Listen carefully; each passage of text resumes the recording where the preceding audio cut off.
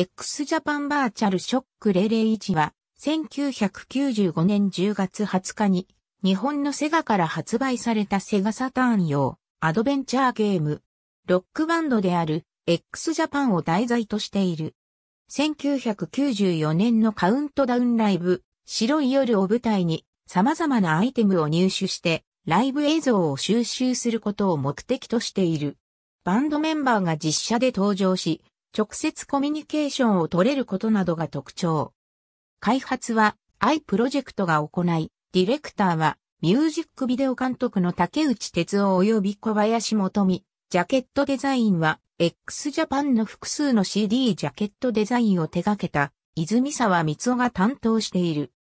タイトルには001とあり、後にシリーズ化が予定されていたことが伺えるが、セガサターン本体の停滞ムードや X のバンド状態の悪化から解散に至ったため、002の開発情報が一部のゲーム誌に掲載されるも、結局発売されることはなかった。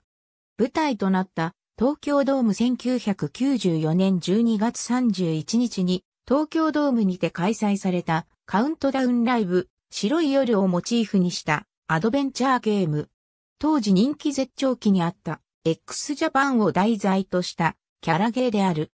タイトルはヒデの考案した X のサイケデリックバイオレンスクライムオブビジュショックというフレーズから取られたパロディでビジュショックではなくバーチャルショックとなっている。プレイヤーは x ジャパンのファンという設定でチケットを入手できずに行ったところをカメラマンと間違われてドームに潜入することに成功。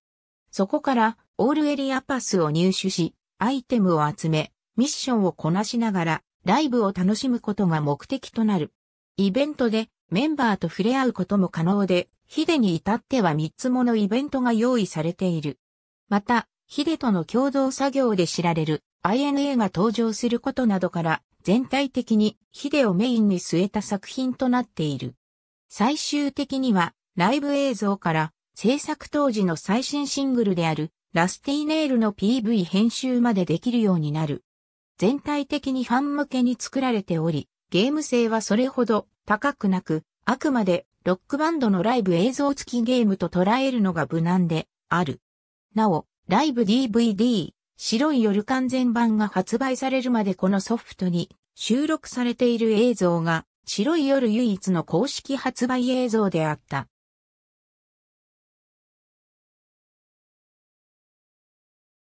ゲーム誌ファミコン通信のクロスレビューでは7.46.6の合計23点。サターンファンの読者投票によるゲーム通信簿での評価は雨季の通り19.1点とどちらも標準的な評価となった。ありがとうございます。